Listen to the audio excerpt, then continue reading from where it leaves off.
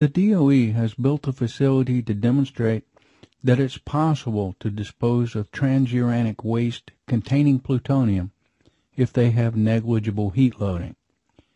They are using a geologic formation called a salt dome to dispose of these transuranic waste generated as a part of the Cold War effort.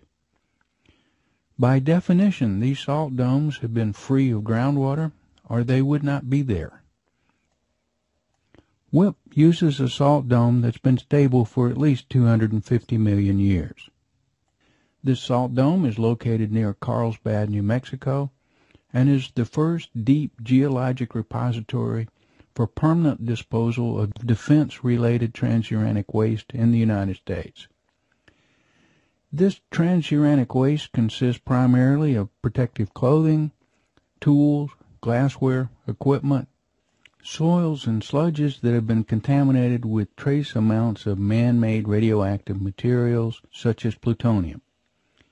As you can see from the map here, this low-level transuranic waste is shipped from Hanford, Washington, Idaho National Labs, Rocky Flats, Los Alamos, Lawrence Livermore, and the Nevada National Test Site to the Waste Isolation Pilot Plant for disposal.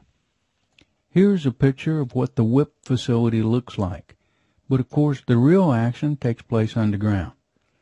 Here is a schematic of the geologic profile of the WIPP site, showing that the radioactive waste sits above sea level in the salt dome.